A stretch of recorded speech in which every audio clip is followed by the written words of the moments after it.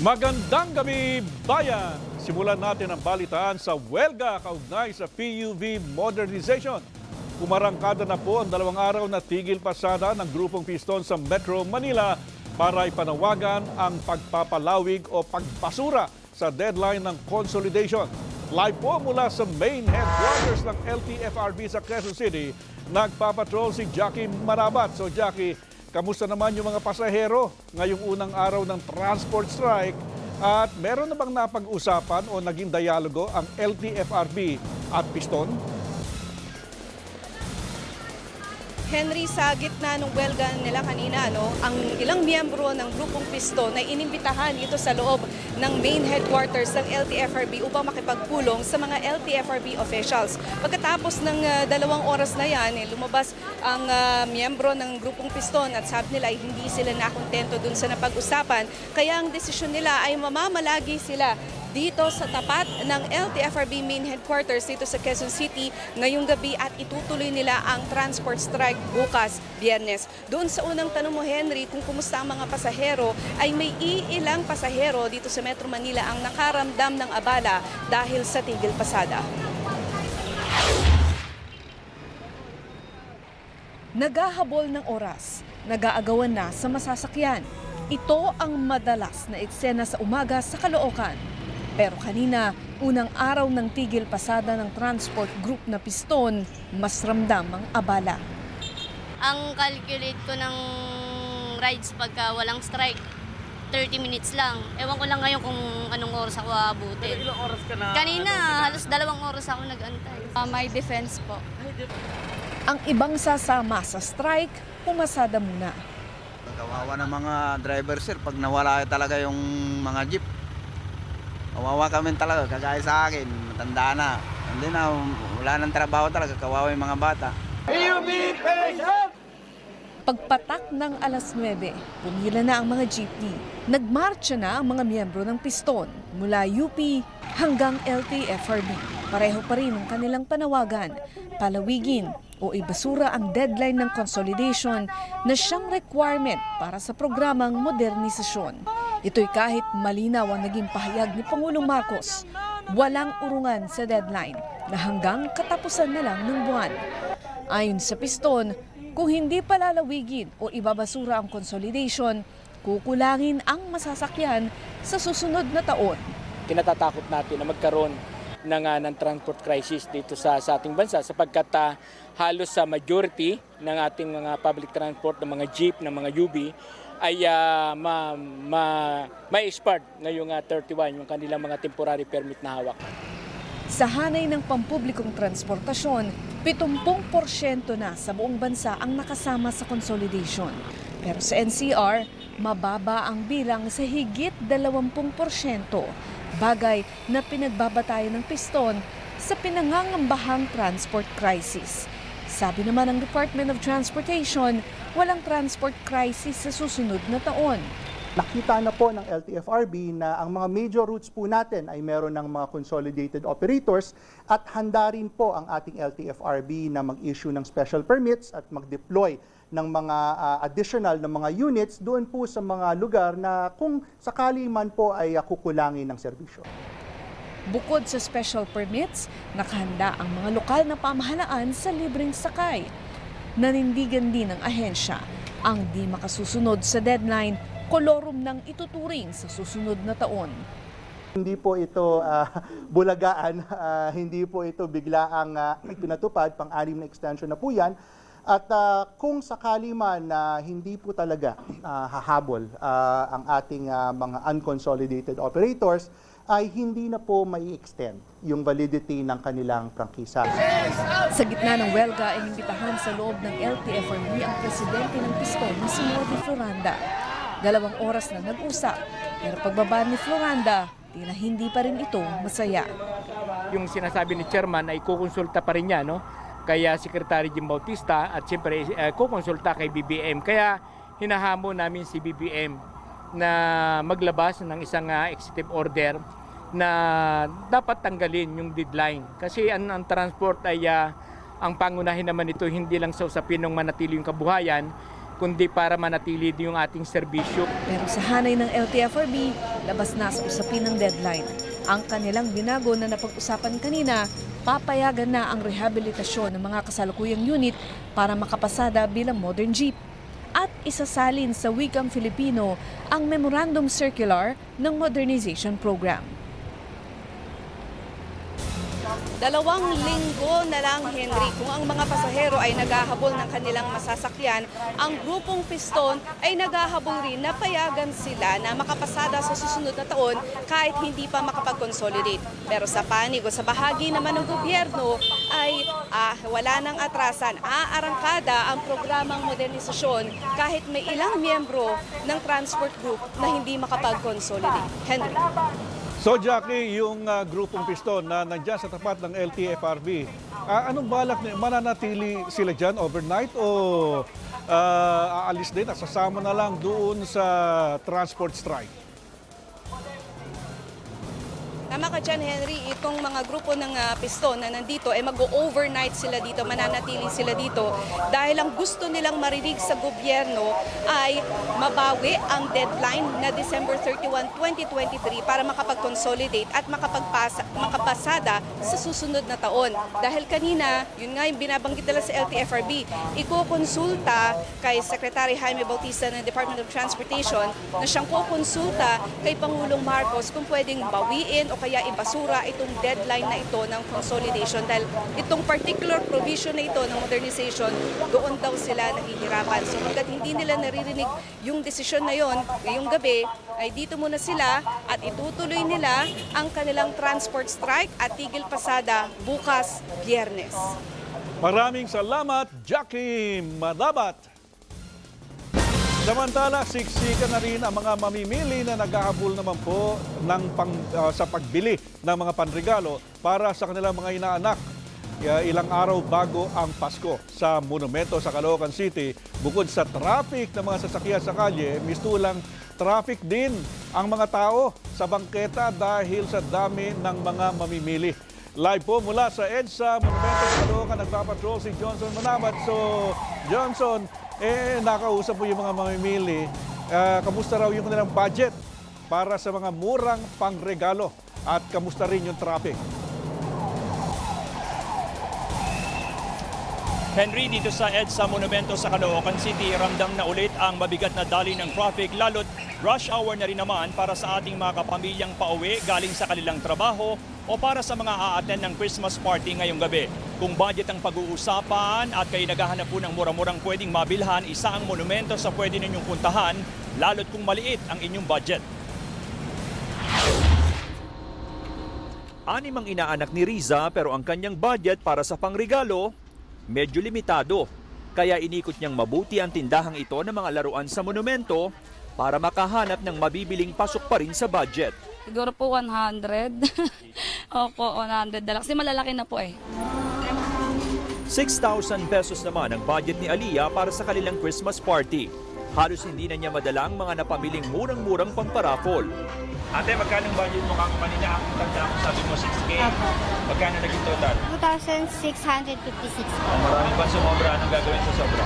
Ano, babalik pa po. Wala Pero kung tatanungin ng ilang mamimili, hati sila kung alin ang pipiliin.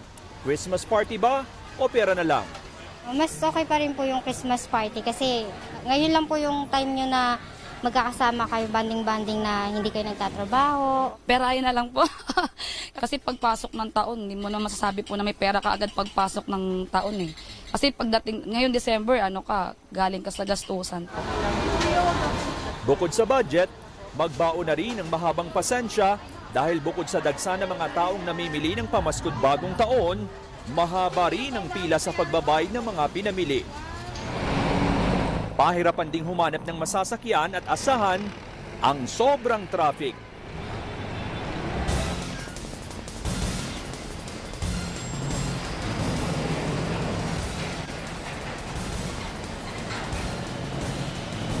Henry, at dahil rush hour na nga ngayon, ay ah, ang ating mga kababayan ay nagkukumahog kung paano makasasakay ng kanilang ah, pauwi.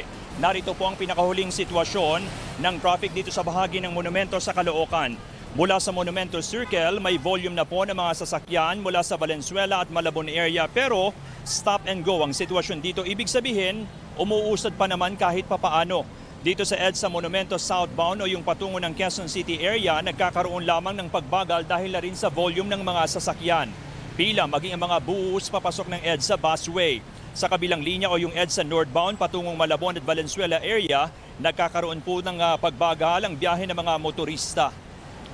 Sa ngayon, silipin natin ang EDSA Kamuning sa Quezon City. Heavy traffic na rin sa northbound lane para naman sa mga galing ng Cubao area patungong North Avenue at ng Quezon Avenue hanggang sa tapat ng magkakatabing malls malapit sa EDSA. Bumper to bumper din ang mga motorista kaya naman mala Christmas ring pulang-pula ang biyahe dito. Habang dito po naman sa southbound lane o yung mga patungong Cubao area, mas maluwag pa ng bahagya ang inyong magiging biyahe ngayong gabi. Henry. Maraming salamat, Johnson Manabat. Sa ibang balita naman, arestado ng Kainta Police ang dalawang kamera, ah, ka- Cameroonian nitong Miyerkules dahil sa umunoy panloloko ng mga Pilipino gamit ang black money scam. Ang modus sa loob ng isang bag ay pinapalitan ng mga suspect ng peke ang perang ipinuhunan ng mga biktima. Nagpapatrol, Job Manahan.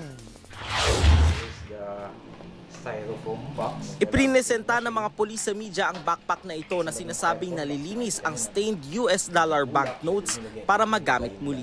Na-recover nila ito mula sa dalawang Cameroonian na naaresto sa Cainta Rizal matapos ireklamo ng kanilang biktima. Laman ng backpack o steaming machine kung tawagin ang isang styrofoam box na nababalutan ng duct tape at may nakausling wire. modus operandi na ito is uh, kinukuha nila ang loob ng kanilang biktima. Matagal na proseso ito. It will take months. Then i-invite na mag-invest sa kanila. Magsasabi ang uh, mga suspect na meron silang uh, stained uh, dollar o tinatawag na black money na huhugasan ng isang chemical compound na makukuha dun sa local notes natin. Ang peso bills na kukunin mula sa mga biktima ay idinadaan umano sa steaming machine para makuha ang chemical dito. Nagagamitin naman panglinis ng mga sospek sa hawak nilang black dollar. Pero sa loob ng bag na pala nila papalitan ng peke ang totoong pera ng biktima. Nakahalata po ang ating biktima na siya ay na-scam. So, what he did is uh, nagsumbong siya sa security na siya ay naloko. Nakuha rin mula sa mga sospek ang isang libong piraso na hinihinalang pekeng tig 1,000 peso bills na may kabuang halaga na isang milyong piso. Babala ng pulisya sa publiko, walang katotohanan na pwedeng mahugasan ng kemikal ang isang banknote. Iwasan po natin yung mga promising, mga promises ng mga hindi natin kilalang tao. This is too good to be true. Tumanggi nang magbigay ng pahayag ang mga dayuhang sospek. Dati nang may kasong estafa at illegal possession of firearms ang mga sospek. Naharap naman sila ngayon sa kasong swindling at violation sa Article 168 ng Revised Penal Code dahil sa illegal possession and use of false treasury or banknotes. Job Manahan, ABS-CBN News. Tubog ba ang mga nakuhang bahid ng dugo sa inabando ng SUV sa DNA profile ng mga magulang ng nawawalang beauty queen na si Catherine Camilon. Ayon sa Public Information Office ng Philippine National Police, base ito sa lumabas na resulta ng pagsusuring ginawa ng PNP Forensic Group. Nakatakda sa December 19 at January 9 ang preliminary investigation sa kasong kidnapping at serious illegal detention laban sa mga suspect na sina Police Major Alan De Castro at ang kanyang driver. Umamin si De Castro na nakarelasyon niya si Camilon. Sa kanya rin galing ang sasakyang gamit ng babae nung araw na mawala ito. Noong October 12 pa, huling nakitang buhay si Camilon sa isang mall sa Batangas. Hindi lamang po yung hair strands ang nagmatch, pati na rin po yung uh, blood stain po, particularly doon sa green and gray sponge na nakita po doon ay nagmatch nga po doon sa DNA profile po ng magulang po niya. Ibinahagi ng isang dati umanong miyembro ng Kingdom of Jesus Christ ang ilan sa mga ginawa niyang panloloko sa mga kapwa miyembro nila. Hinamon din niya si Pastor Apollo Kibuloy na harapin ang mangyayaring Senate investigation, bagay na sinagot agad ng abogado ni Kibuloy. Nagpapatrol, Sherry Ann Torres. Ito si Arlene Caminong Stone, noong aktibo pa umanong pastoral o utusan ni Kingdom of Jesus Christ Pastor Apollo Kibuloy.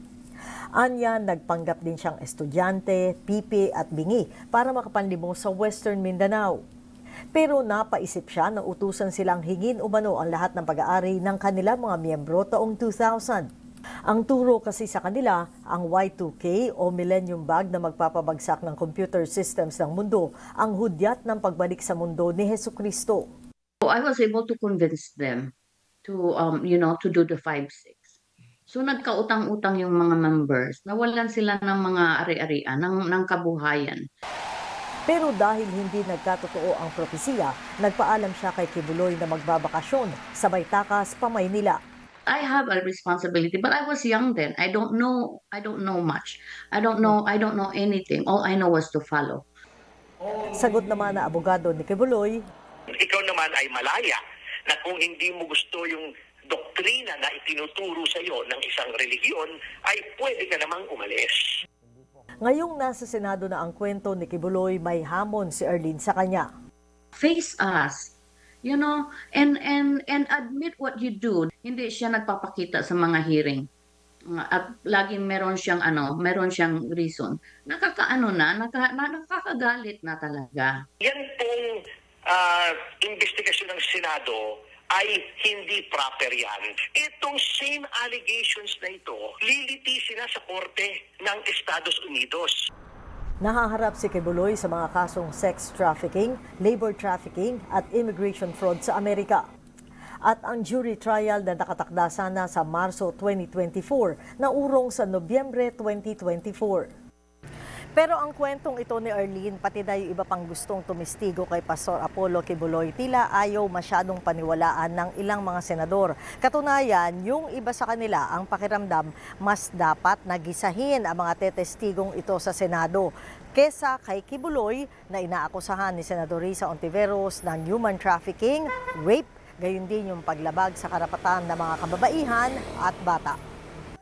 Ayon kay Senador Robin Padilla, hindi lahat ng tumitestigo sa Senado dapat paniwalaan. Dito, ang tagal naman ninyong na, na, nanonood na rin ng hearing dito. Kokonti ang witness na nagsasabi ng totoo dito. Eh, ang hirap na rin maniwala dito eh. Magsasabi ng statement ngayon, kinabukasan, iba na yung statement. Sabi naman ni Senador Christopher Go, kilalang kilala niya si Kibuloy. Makikinig tayo and of course kung ano yung paniniwala ko at pani, pag, ah, pagkakilala ko sa kanya, eh, susuportahan ko po siya. So, antayin na lang po natin yung ah, ah, investigation. Formal nang hiniling ni Ontiveros kay Justice Secretary Jesus Crispin Remulla na mag-issue ang DOJ ng Immigration Lookout Bulletin Order laban kay Kibuloy upang hindi ito makalabas ng bansa. Sa January 23, 2024 na sisimulan ang investigasyon ng komite sa mga bintang laban kay Kibuloy. Sherian Torres, ABS-CBN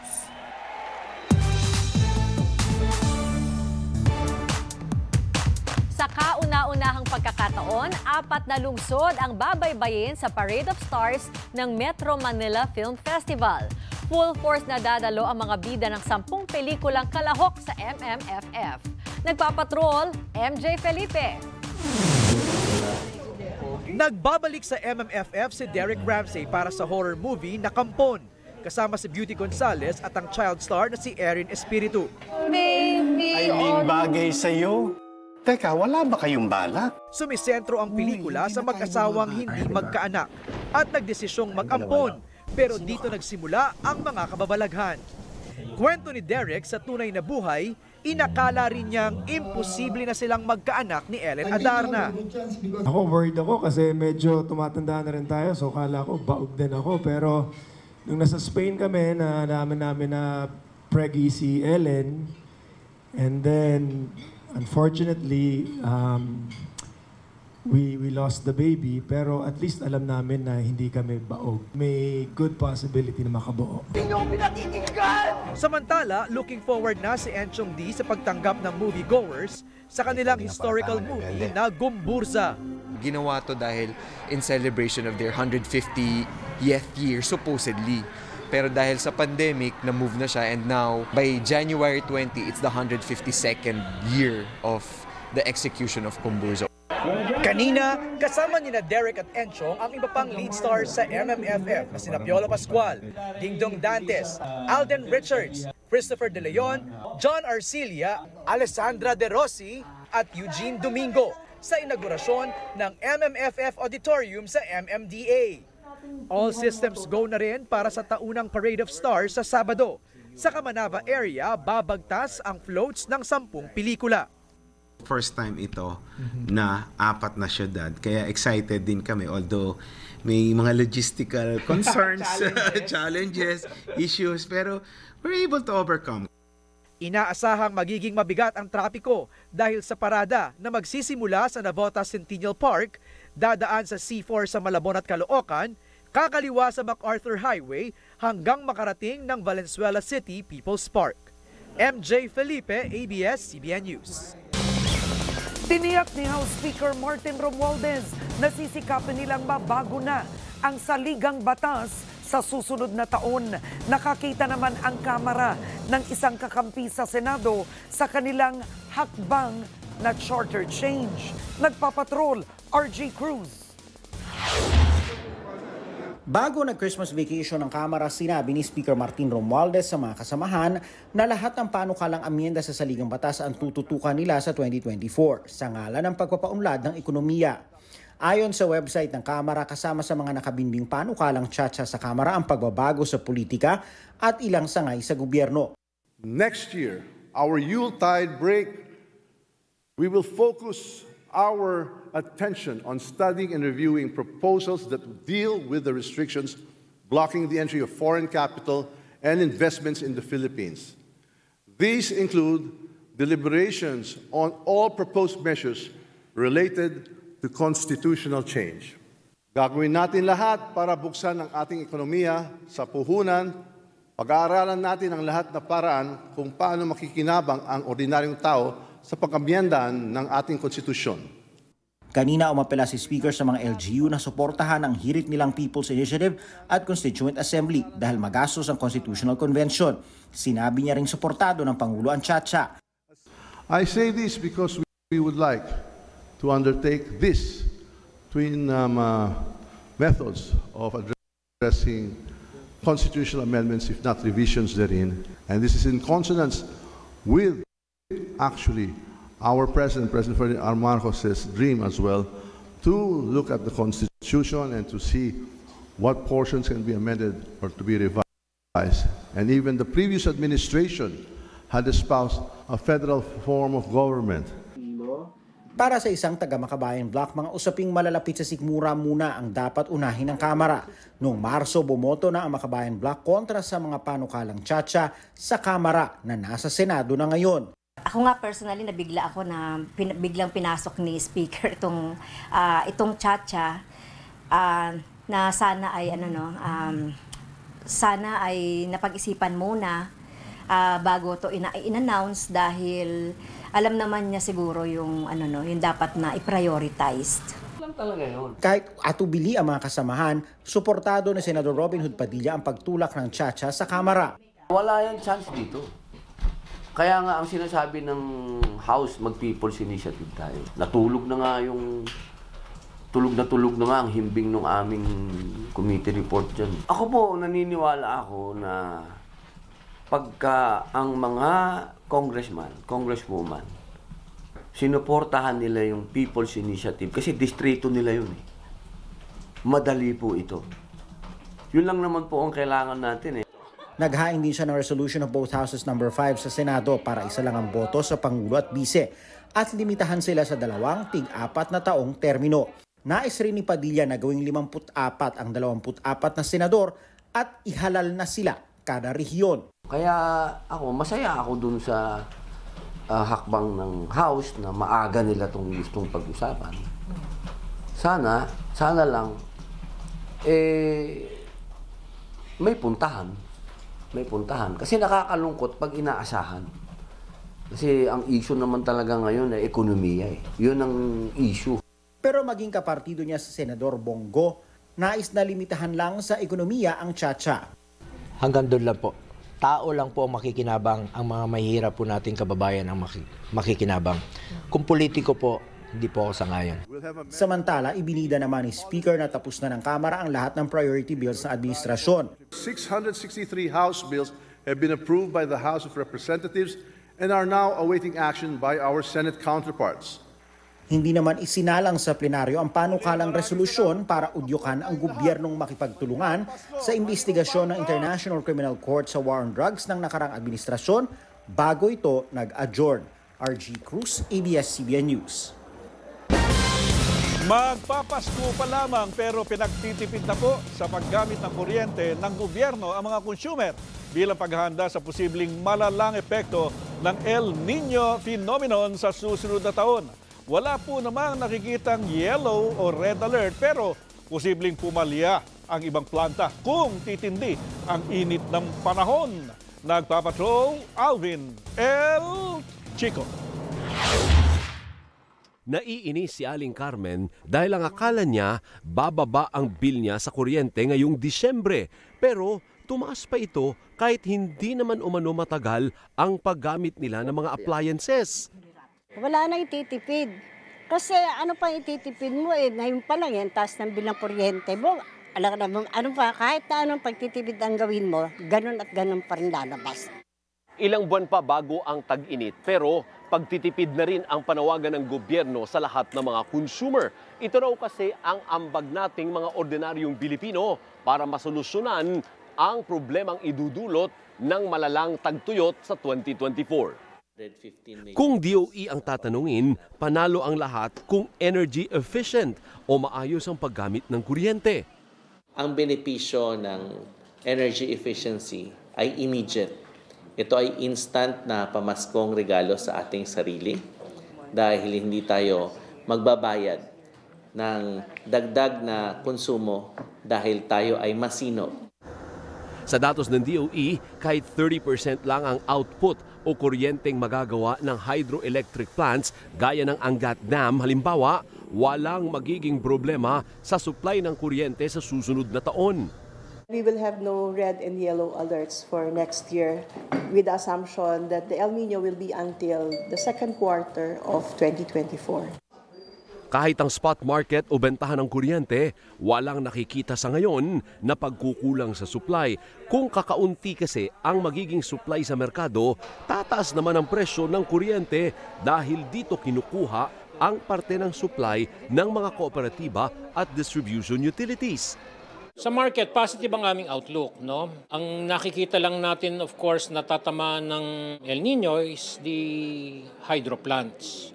And that is something na, kumbaga, hindi natin makokontrol.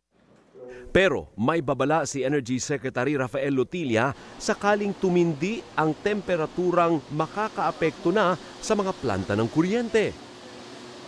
We are also anticipating that there might be uh, interruption. The plants, especially the coal-fired power plants, may not be working at uh, their optimal levels. Uh, so uh, we have to be we have to be monitoring uh, all of them very closely. Hindi pinapayagan ang maintenance shutdown ng mga planta sa summer pero ang biglaang pagpalya ang pwedeng magdulot ng pagkulang ng reserba o brownout kapag kinapos na ang supply ng kuryente. Alvin L. Chico, ABS-CBN News. Nakakuha ng pwesto ang Pilipinas sa bagong Loss and Damage Fund sa 28th Climate Change Conference sa Dubai. Ayon kay DNR Secretary Antonia Yulo Loizaga, magsisilbi bilang full member ng board ang bansa sa 2024 at 2026 at magiging alternate member naman kasama ang Pakistan sa 2025. Layo ng Loss and Damage Fund na maglaan ng tulong pinansyal sa mga bansang matinding tinatamaan ng climate change kabilang daang Pilipinas. Umabot na sa 700 million dollars ang pledges ng Germany, United Kingdom at United Arab Emirates. Sa isang video message, ikinatuwa ng Pangulo ang anunsyo ng kalihim. Magiging daan ito anya para magsilbing boses ang Pilipinas sa pagsasaayos ng pondo na tutulong sa epekto ng climate change sa buong mundo.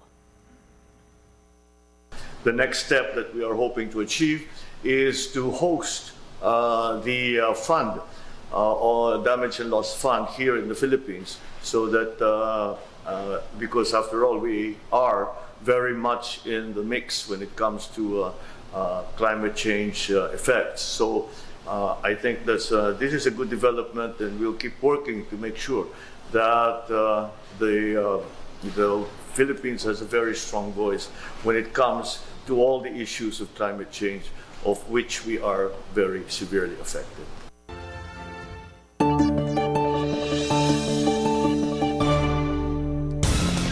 Alamin natin ang magiging lagay ng panahon mula kay ABS-CBN resident meteorologist Ariel Rojas. Ariel, parang hindi masyadong maramdaman ang lamig nitong amihan. Lalakas pa ba ito at nasaan na ang binabantayang sama ng panahon sa labas ng bansa? Ate B, bagamat umiiral sa buong Luzon ang amihan, papahina ito sa mga susunod na araw at sa umaga at gabi lang talaga medyo dama ang malamig na panahon lalo po dyan sa may Northern Luzon. Samantala, low pressure area na ang cloud cluster kumpul ng kaulapan sa labas ng ating bansa at kanina pong alas 3 ng hapon ng LPA na sa layong 1,865 kilometers east-southeast ng southeastern Mindanao. Wala pa itong epekto sa panahon sa bansa. Posibleng pumasok ng Philippine Area of Responsibility ang LPA sa araw po ng Sabado at lalakas pa ito bilang bagyo sa may Philippine Sisilangan ng Mindanao na tawagin po itong Bagyong Kabayan. Posible ang pagtama ng potensyal na bagyo sa eastern part ng Mindanao linggo ng gabi o lunes ng umaga. At sa linggo po magpaulan na ang sama ng panahon sa eastern Visayas at Mindanao. Patuloy pong antabayan ng updates ukol sa potensyal na bagyong ito dahil magbabago pa ang forecast. Sa rainfall forecast ng The Weather Company para bukas sa umaga may ulan na po dyan sa may Davao Oriental. Sa tanghali meron na ring ulan sa ibang bahagi pa ng Davao Region maging sa may Caraga. Meron ding mga pag-ulan na sa hapon sa Bukidnon at sa gabi may aasahan din mga pag-ulan sa Socsargen, Maguindanao at sa Lanao provinces. Sa Visayas, maalinsangan po sa malaking bahagi maghapon. May konting ulan lang sa ilang parte ng Eastern Visayas sa tanghali. At dito naman sa may Northern Negros, sa may Capiz at sa Aklan, pagsapit po ng gabi. Mababa rin ang tsansa ng ulan sa Palawan. Buong araw bukas, buong probinsya po yan, kaya mainit at maalinsangan pa maghapon. Sa Luzon, sa southern part po may mga pag-ulan. Bandang umaga sa ilang bahagi ng Bicol Region, sa may Romblon at Oriental Mindoro. Kikilos naman pakanluran yung mga kaulapan, kaya meron na rin mga pag-ulan sa tanghali at hapon sa Calabarzon at pagsapit po ng gabi, meron na rin ulan sa bahagi ng Bulacan at Pampanga. Dito naman po sa Metro Manila, mainit po lalo bandang umaga at hapon, posible maging maulap bandang tanghali. Kung may mga pagulan po, mahihina at hindi naman magtatagal. Yan po ang update sa lagay ng panahon. Ako po si Ariel Rojas. Ingat ka pamilya. Madadagdagan na ang mga bumabiyaheng motorcycle taxi. Ito ay matapos buksan ng gobyerno sa iba pang kumpanya ang pilot study sa motorcycle taxis. Sa Metro Manila, inaasa humigit kumulang 10,000 units ang madadagdag. Nagpapatrol, Vivian Julia. Suki ng motorcycle taxi si Steve Ora dahil mas mabilis aniya ang biyahe kumpara sa ibang pampublikong sasakyan. Yun nga lang may mga pagkakataong nagtatagal sa booking. Isa ng 30 minutes, mahirap sila mag-accept kasi nga maraming nag-book.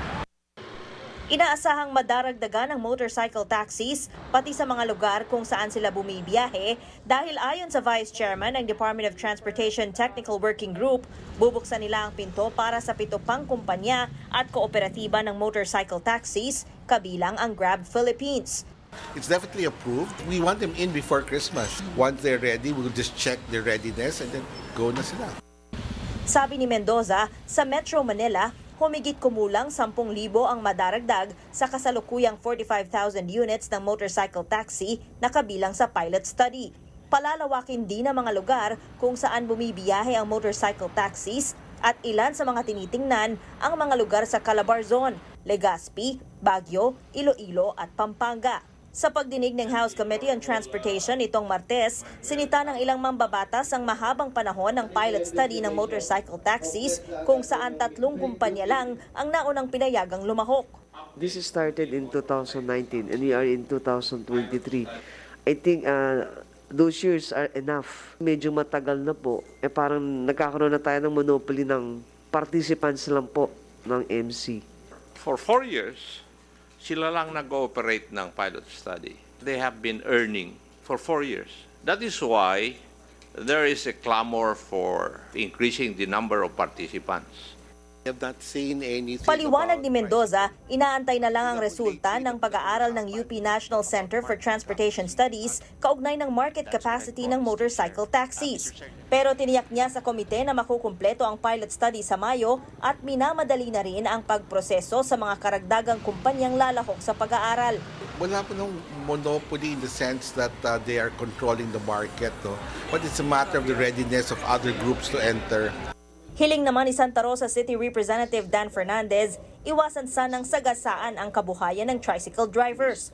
Pinuna rin niya ang share ng motorcycle taxi companies sa pasahe. Kung 20% that is so big.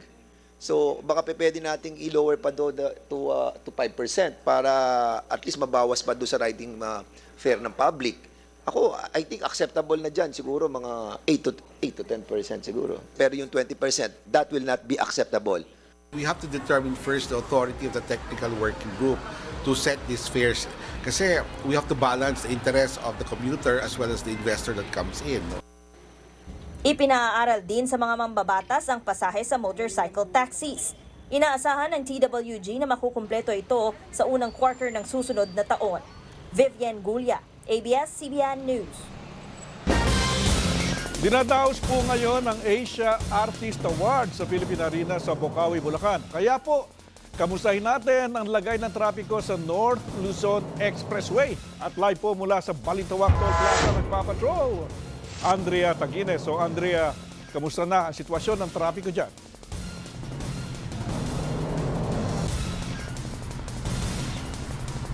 Henry, maluwag ang daloy ng trapiko ngayon dito sa northbound lane ng NLEX dito sa may Balintawak Toll Plaza. Light lang yung traffic, mabilis namang nakakalampas yung mga sasakyan sa RFID lanes at maski yung mga nagbabayad ng cash, hindi naman lumalampas sa 50 meters yung pila nila. Ah, pero gayon pa man, minabuti na ng NLEX na buksan yung kanilang 17 toll gates dito para sa mga motorista at meron din silang RFID sticker installation tent para sa mga wala pa.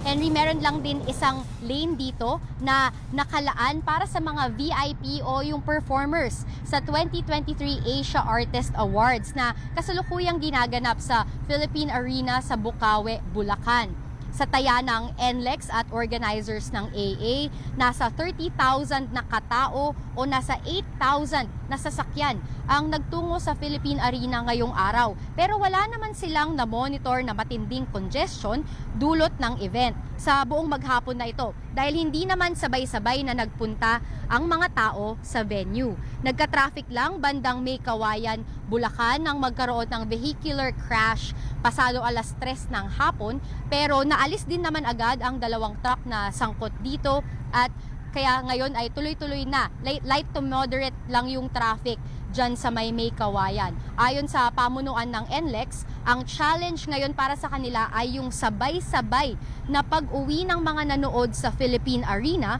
na karamihan ay pabalik ng Metro Manila. Kaya kung ngayon ay maluwag pa yung daloy ng trapiko sa southbound lane ng NLEX sa Ciudad de Victoria kung nasaan yung um, uh, Philippine Arena, nandun sa Bukawe Toll Plaza, medyo light to moderate pa ang traffic. Posibleng mag-iba na yan mamaya, posibleng magsikip na yan bandang alas 8, alas 9 hanggang alas 10 ng gabi pagkatapos ng awards show. Payo ng NLEX management sa mga motorista, hanggat maaari ay huwag makisabay sa mga oras na ito o dumaan na lang sa alternate roads tulad ng MacArthur Highway at pumasok na lang ulit sa NLEX kapag nakalampas na sa may Philippine Arena. Para naman sa mga manggagaling sa AA o sa award show. Sumunod din sa ipinapatupad na traffic scheme ng NLEX palabas ng venue para hindi matraffic. Aside po dun sa ating uh, regular deployment po dito sa kabaan ng NLEX at saka SITEX, uh, nag-deploy po kami ng dedicated na uh, one, around 150 personnel dito sa uh, Philippine Arena uh, para mag-manage po ng traffic flow doon at ganun din po yung sa parking. Uh, yung bawat parking area ay may nakatokang uh, access dito sa NLEX. To support all artists din, so I'm planning din na to finish na lang to program. Para sulit din yung punta from south to north.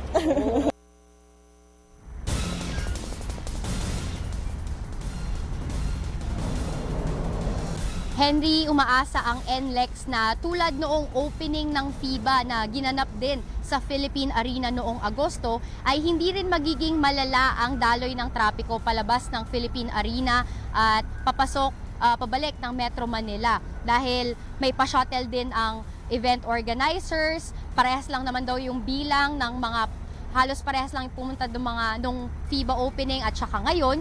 Pero ang kaibahan lang ay walang truck ban ngayon. So isa din yan sa mga maaaring makasikip sa daloy ng trapiko at isa yan sa mga imo-monitor natin mamaya lalo na dun sa may May Kawayan. Samantala, naghahanda na rin ang NLEX para sa mga uuwing probinsya simula bukas hanggang Kapaskuhan. Uh, ayon sa NLEX, simula bukas ay hindi na raw, wala hindi na raw magkakaroon ng road closures, lane closures, bubuksan na nila lahat ng toll gates para makaiwas, para makabawas sa bigat ng trapiko. Henry. Maraming salamat, Andrea Tagines.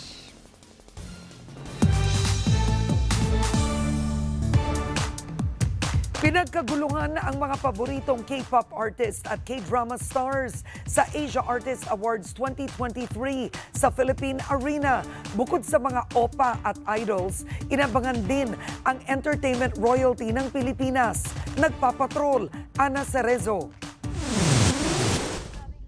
Ilang buwan na sabik ang grupo ni Michelle para sa kauna-unahang Asia Artist Awards na ginanap sa Pilipinas. Dream come true para sa kanilang Pinoy Hallyu fans ang event dahil makikita nila hindi lang isa, kundi ilan sa paborito nilang K-pop idols, pati na rin K-drama stars na nagbibigay kilig at inspirasyon sa kanila. Parang you bond with them habang yung pinapanood mo yung mga performances nila. Unforgettable moment para sa amin. Hopefully by supporting them ngayon sa event na to, marami pang mangyaring ganito in the future. Not just AAA, malay mo mama. Nagtipon-tipon sa Philippine Arena ang ilan sa pinakamalalaking pangalan sa entertainment industry ng buong Asya para kilalanin ang kanilang husay sa larangan ng music, TV, film at content creation. Napasigaw ang fans nang maglakad sa red carpet ang ilan sa mga Hallyu heartthrob actors tulad ni Kim Son Ho at An Hyo-so. Todo cheer din ang fans para sa K-drama leading ladies tulad ni Moon Gayang at singer-actress na si Kim Sejo.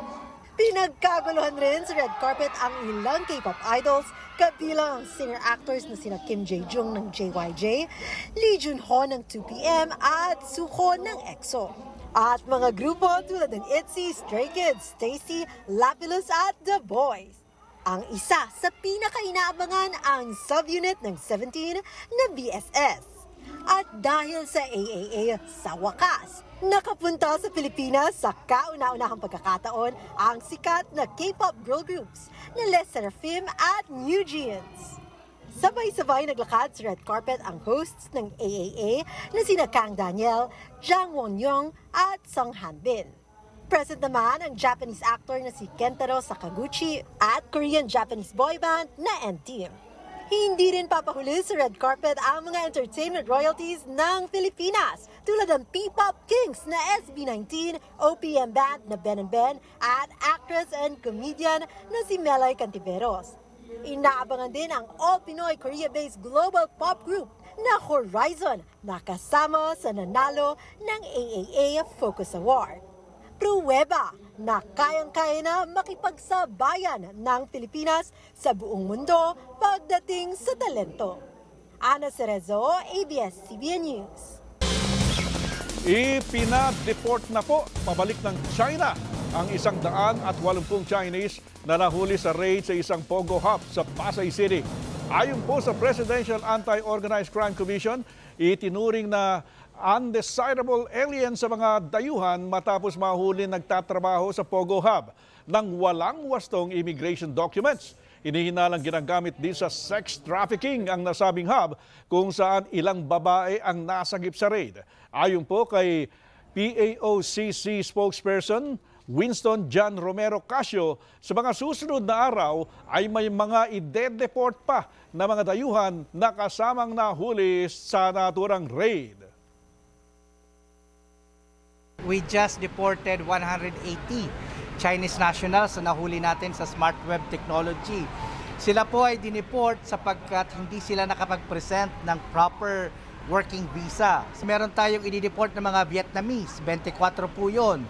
Meron pa tayo natitirang kulang-kulang 100 ng mga Chinese for deportation din po.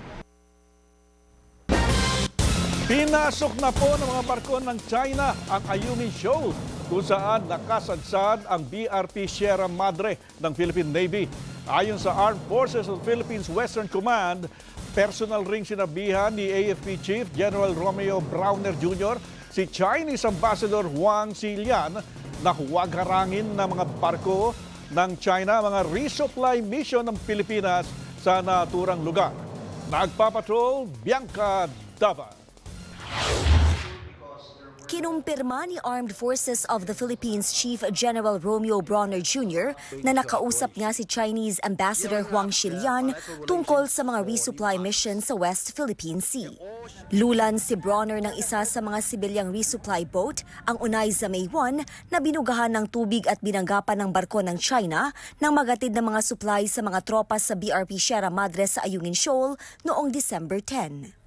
Diretsahang sinabihan ni Bronner si Huang na huwag harangin ang mga resupply mission ng Pilipinas, lalo na ang Christmas convoy kamakailan. Sinabi ko sa kanya na that is not your territory. No? In fact, sabi ko, that is our exclusive economic zone. So please, do not block our resupply ships. At sinabihan ko rin siya na wag, niyang i, wag nilang i-block yung Christmas convoy. Mainit ang diskusyon nila ng Chinese ambassador kung saan kapwa nila iginiit ang kanilang karapatan sa West Philippine Sea. Sinabi nga niya na you are provoking us. Sinabi ko sa kanya, no, you are the ones provoking us. Nanindigan naman si Bronner na hindi kailangan sa ngayon na pasamahin sa resupply mission sa ayungin ang Amerika na iminungkahi ni dating Senior Associate Justice Antonio Carpio. We can do it on our own. Nagkaroon na tayo ng joint sale kasama ang uh, US at uh, pwede nating ulitin po iyon. Muli namang ipinaliwanag ni Commodore J. Tariela, ang tagapagsalita ng Philippine Coast Guard sa issue ng West Philippine Sea, kung bakit civilian boats at white ships ng Coast Guard ang naglalayag sa mga resupply mission paayungin. The reason why China Coast Guard has been deploying their Coast Guard vessels, it's because we are using a civilian indigenous boats and it's only escorted by the Philippine Coast Guard vessels. If we're going to change the tone, if we're going to deploy warships instead of white ships, we can expect that the Chinese will also be escalating um, their projection of power.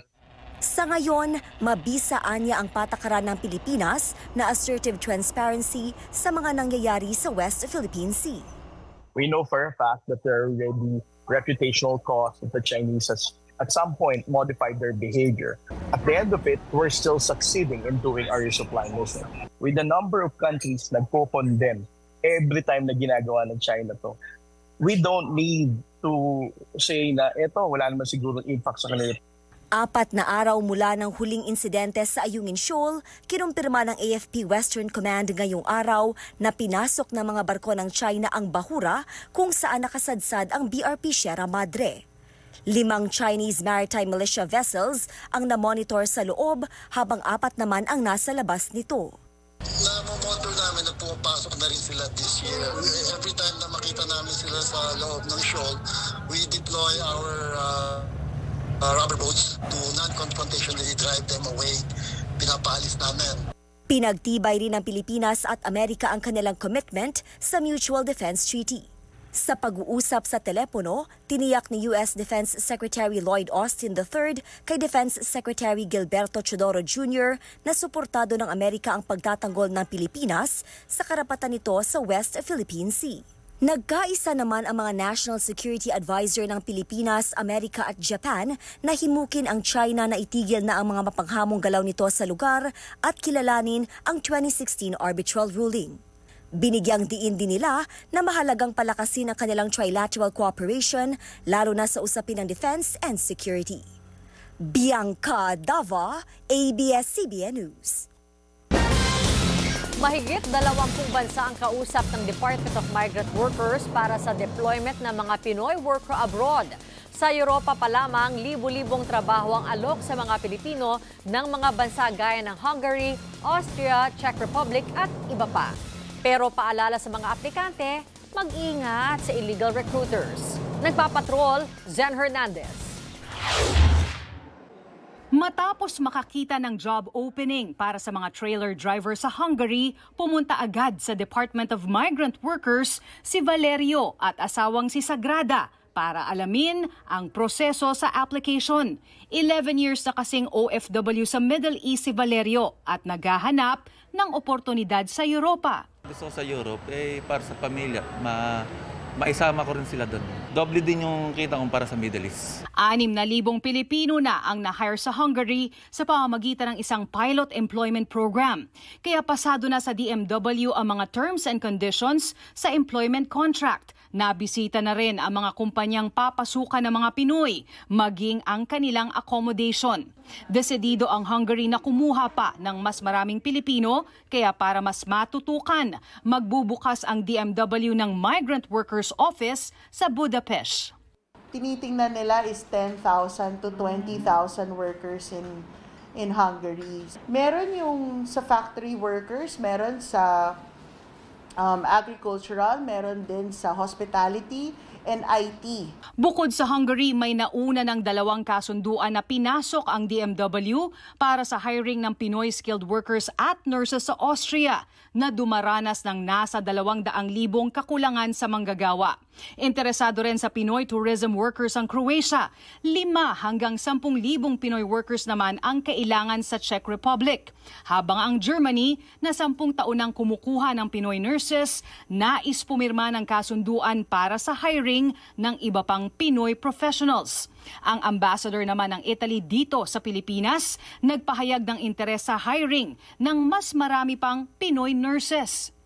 you have a very good reputation for that. So definitely, uh, that would be nice. We might have more and more Filipino and Filipina nurses in Italy, uh, but also in, in other another kind of, uh, of sector, even engineers. Makikita sa DMW website ang lahat ng aprobadong job orders sa kahit aling bansa, pati na kung anong mga requirements ang kailangan at kung sinong recruitment agency ang dapat kausapin. Ito ang unang hakbang na dapat gawin ng mga aplikante para hindi maloko ng illegal recruiters. May warning din ang DMW sa mga OFW na nasa ibang bansa na at hinihikayat ng illegal recruiters na tumawid sa iba pang bansa. Kung tingin nyo po mas mabilis, kung tingin nyo na mas mura na gawin yung ganong illegal na proseso, nagkakamali po kayo. Nirecruit sila, dinala sila. Pagdating doon, walang trabaho. Walang uh, accommodation. Kami po sa department, payagan nyo naman po kami, bantayan kayo. Para kahit paano po, may laban tayo doon. Marami pang oportunidad na nakapila para sa mga Pilipino. Katunayan, mahigit 20 bansa ang kausap ng DMW at nasa 39 ang mga dapat pirmahang kasunduan. Pero lahat binubusisi para masiguro ang kaligtasan ng mga OFW. Zen Hernandez, ABS-CBN News. Ginugunita ngayon ang ikalabing siyam na anibersaryo ng pagpanaw ng binansagang hari ng takilya na si Fernando Poe Jr. Isa sa mga bumisita sa punto ni The King ay ang bida sa seryeng FPJ's Batang Quiapo na si Coco Martin. Sa mensahe po ni Coco sa kanyang Instagram account, sinabi nitong nananatiling buhay ang mga obra ni The King sa puso't isipan ng mga Pilipino. Tunay namang buhay na buhay pa rin ang mga kwento ni The King mula sa mga pelikula ni FPJ na mapapanood sa Kapamilya Channel, Cinemo at Cinema One ngayong December hanggang sa digital executions na makikita naman sa iba-ibang social media accounts ng ABS-CBN. Nagsisilbi ring gabay at inspirasyon sa marami ang mga kwento ni FPJ. O kapamilya, naghahanap ba kayo ng kakaibang papasyalan ngayong magpapasko? Subukan ninyo ang mga pasyalan mapapasigaw kayo sa excitement at lalong mapapangiti ang mga chikiting. Nagpapatrol, Jeffrey Hernaez. Pangarap mo rin bang makipagkarera ala Formula 1 sa lugar na ligtas at hindi ka maiinitan? Dito, tiyak na masasatisfy ang iyong adrenaline rush. Bakit hindi niyo subukan at ng buong pamilya itong indoor kart racing? Pero safety first, bago umarangkada, may orientation muna. Pagkasuot ng bonnet at helmet, ayan, ready to go ka na. One thing they can expect is a safe and serious fun. Uh, we really recommend adults, children from 4 years old all the way to 84 years old that have experienced our uh, track already. Para ka namang nag-travel back in time sa indoor park na ito na may gumagalaw na mga dinosaur. May T-Rex, pterodactyl at marami pang iba. Nakamamangha rin ang Enchanted Forest. Actually, realistic naman, ang gaganda. Kahit tawakan pa eh, para siyang totoo. Kahit po hindi kayo dino enthusiast, uh, mag-enjoy po kayo dito. Hindi lang siya pang bata, pang pamilya po talaga siya. Sa Bohol naman, patok ang sampung talampakang gingerbread house na gawa sa cookies, fondant, edible pearls at mga candy. Tunay na nakabibighani lalo na't pinaliliwanag ito ng LED lights sa loob. Sa Pangasinan, ready na rin para bisitahin ang giant Christmas tree sa bayan ng Infanta. Nakatanggap rin ng solar lights ang ilang benepisyaryo bilang maagang pamasko. Libo-libong pailaw naman at dancing fountain ang pasiklab sa Masbate City.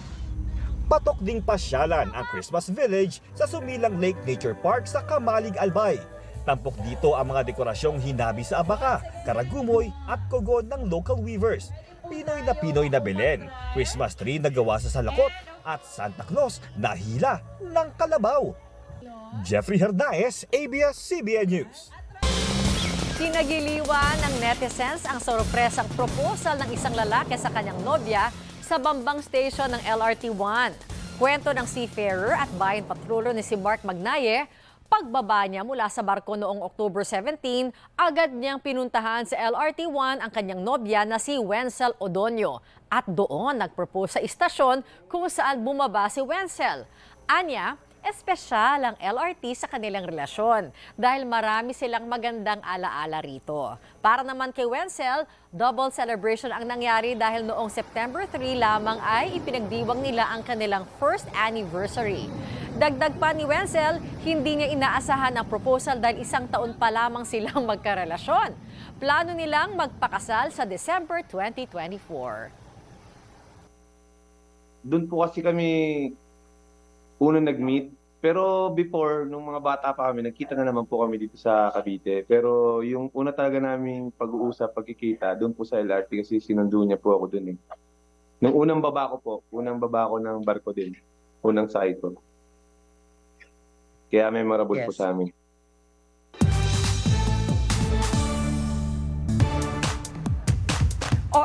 Naman tayo, usap-usapan ang muling pagsasama ni na Catherine Bernardo at Daniel Padilla sa ABS-CBN Christmas Special. Nagpakita ng suporta ang mga kaibigan ng dalawa kahit break na sila. Nagpapatrol, MJ Felipe. Matapos ang breakup ni na Catherine Bernardo at Daniel Padilla, kaliwat kanan ang mga naglabasang issue sa dalawa. Kabilang ang umano'y paglipat ni Catherine ng network. Nagpadala ng mensahe ang ABS-CBN News sa mommy ni Catherine na si Min para magtanong tungkol sa issue. Pero itinanggi nito ang chismis. Ayon kay Min, hindi iaalis ng Kapamilya Network ang kanyang anak. Katunayan, present si Catherine sa ABS-CBN Christmas Special sa Araneta Coliseum. Kuha ito backstage. Captured ang pagkikita at pag-uusap nila ni Daniel bago magsimula ang show. Marami ang nagulat sa performance ng dalawa sa opening number. Ito ang first public appearance ng dalawa matapos nilang i-anunsyo ang kanilang breakup noong November 30. Kwento ng ilan nilang kaibigan, pati sila kinilig sa pagkikita ng dalawa. Seeing them kanina, parang alam mo yung, oh my gosh, inaano pa nga yung balahibo ko, oh my gosh. Ang happy lang na seeing them again, friends. Yeah, of course, kahit friends, kilig pa rin. Giving them time, also, like give them space. And kahit anong mangyari, andito ako for the both of them. And I'm just hoping for everyone's healing. We're just here talaga. Yun naman talaga pag magkaibigan eh. Sobrang tapang ni Kat. And um, knowing her since I was, you know, I think I was 13. And then now parang watching her from a mom perspective, sobrang tapang niya. And we're so proud of her. Mapapanood ang full performance ni na Catherine at Daniel at iba pang world-class performances ng Kapamilya Stars sa Forever Grateful, the ABS-CBN Christmas Special ngayong Sabado, December 16 at Linggo, December 17 sa Kapamilya Online Live, Kapamilya Channel at A to Z, I1 TFC at TFC. MJ Felipe, ABS-CBN News. Wow! Yun naman pala eh. Merry Christmas. Yun. Alam ko sa, ano, B? Aka, I'm just here for her. Oo. Oh. Ako, I'm here for both of you. Ah, Da. Oh. Ikaw. Okay ba? Ikaw? I'll be there for you. Na. Ah, Why na? Kakanta ka na. Ganda! Alright, at yan ang mga balitang binantayan namin para sa inyo. Ako po si Karen Davila. Nahahalata talaga edad mo. 11 days na lang, Pasko na. Anumang hamon, anumang panahon, tapat kaming maglilingkod. Ang happy, oh. Ako po si Bernadette Zambrano. Ako naman po si Henry Umaga Diaz. Maraming salamat po. At magandang gabi. Bayan. Yan ang naglalabas ng edad.